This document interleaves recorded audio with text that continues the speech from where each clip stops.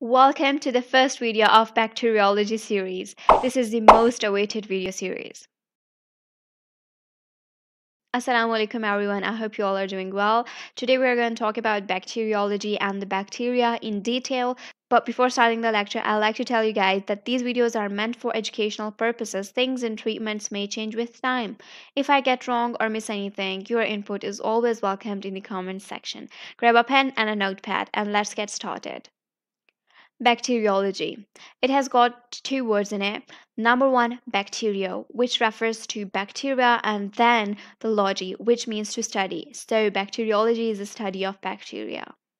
Bacteriology is a science that deals with bacteria and their relations to medicine, industry, and agriculture. Bacteriology is a branch of microbiology. Lecture outline. I have introduced you guys to the bacteriology. Now we're going to talk about bacteria, its shape and size, classification, and structure a little bit. But I will discuss the structure in detail in the next video. And lastly, we'll review it. Bacteria. Bacteria are also called as microbes. If you're wondering what are called microbes, so I've got a video on introduction to microbiology just in the top right corner. I have explained in that video what are microbes, so you can also check that one. Bacteria are prokaryotic cells because they are unicellular. They play important role in disease and health. You might be thinking how they are going to play a role in health because they are a part of human microbiota or we can also call it microbiome or normal flora. Bacteria have less complex structure as compared to eukaryotes. Bacteria lack certain membrane bound organelles such as nucleus, mitochondria, endoplasmic reticulum, the ER, and Golgi complex. The shape of a bacterium is determined by its rigid cell wall. Classification Bacteria are classified by shape into three basic groups. Number one, cocci, but in some places it is also pronounced as cocci. Number two, bacilli. Number three, spirochetes, but it is also pronounced as spirochetes in some places, but you should choose the one you like. Number four, pleomorphic. The cocci are round, as you can see in the middle. The bacilli are rods, as you can see on the left side, and the spirochetes are spiral shaped, as you can see on the right side. Some bacteria are variable in shape and are said to be pleomorphic, heterogeneous shape. For example, consider a bacteria that has got the spiral shape, the cocci shape, and the bacilli shape. Like it has round rods, and spiral shaped bacteria in it. So we will term that bacteria as pleomorphic shaped bacteria. In addition to the characteristic shapes of bacteria, the arrangement is also very important. Arrangement of bacteria is determined by the orientation and the degree of attachment of bacteria at the time of cell division. For example, certain cocci occur in pairs, so they are termed as diplococci while some in chains they are termed as streptococci and others in grape-like clusters so they are termed as staphylococci as in this picture you can see the arrangement of cocci bacilli and spiral um, this is a single round shape so it is termed as coccus if it exists if the cocci exist in pairs so it will be termed as diplococci if four cocci occur together so it will be termed as tetrad. If eight or more um, exist together so it is termed as sarcina.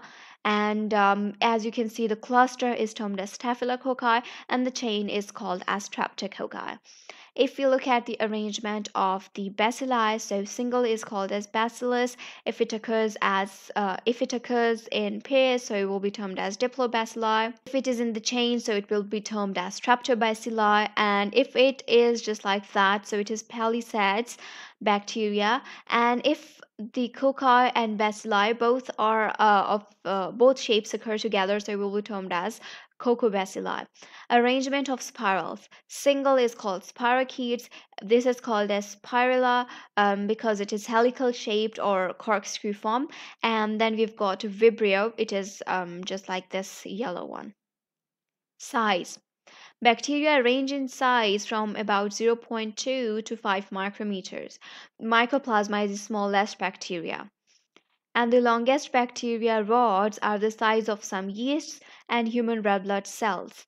Uh, for example, Borrelia uh, size is about 7 micrometers. Structure Bacteria have got the following structures cell wall, cell membrane or plasma membrane, cytoplasm, capsule, glycocalyx, flagella, pili, and fimbriae, and at the end, bacterial spores. This tail-like structure, it's not a tail, it is actually the bacterial flagellum.